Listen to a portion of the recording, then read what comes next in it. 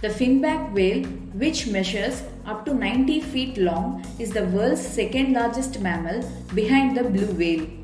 One fascinating aspect about these finback whales is that they produce the lowest frequency noises of any mammal.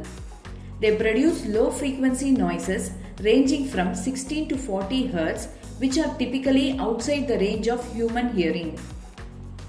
Despite making such low frequency noises, these finback whales can hear one another from 850 kilometers apart. Hope you liked this video. We'll be back with more such videos. Bye bye.